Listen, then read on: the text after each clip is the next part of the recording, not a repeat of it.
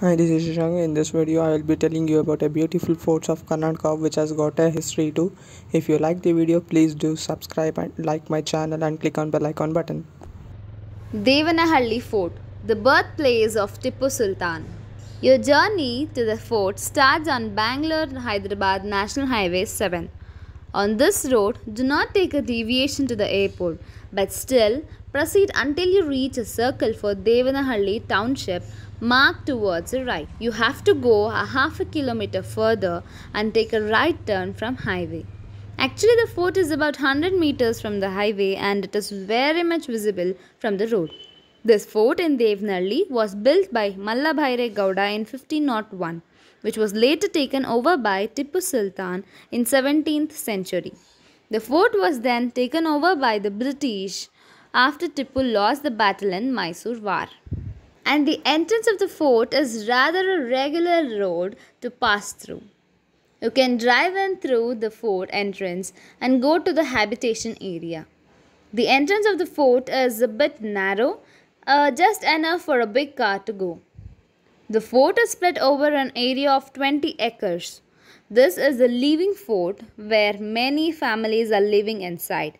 There are many temples inside the fort area, such as Venugopala Swami Temple, Siddheshwara Swami Temple, Raghavendra Swami Mat, Chandra Mouleshwara Temple, and so on.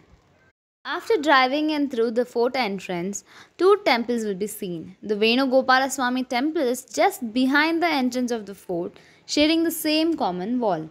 On the other side of the road, say at 10 meters distance, there is a newly built Shiva statue with mirrors which gives a multiple reflection of the Lord Shiva. The temple has a traditional look with a beautiful sculpture painting with beautiful colors has it made it even more attractive.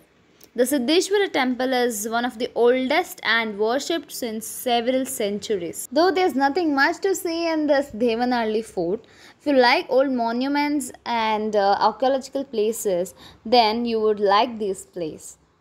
There is no timing for the fort as it is always open and uh, no entry ticket as the fort entry road is uh, used as a public transportation or common road for the publics so you can go at any time of your convenience. There are also two beautiful Nakoda Jain temples on both the sides of the highway. They are beautiful and uh, it is worth visiting there. Also, there are uh, several other tourist places nearby uh, which are shown in the further video. And the major one is the Nandi Hills. Nandi Hills is one of the nearest major tourist attraction just you have to go a 2 kilometers further on the high national highway and then take a left turn for Nandi Hills. It will be a good idea to combine Devanahalli Fort in your Nandi Hills trip. There's also a temple nearby, Sri Bhoganandhishwara temple, which is very famous in the place. Also, on your way back, you can visit the Tipu's drop zone. And there is an another nearby place called Skandagiri Hills. You can refer our previous videos where we have given the detailed information about the Skandagiri hills. So what else are you waiting for? Go ahead. It will be a cherishing, refreshing one day outing for people especially who are very much busy in the daily routines of these corporates and work from homes. Uh-huh.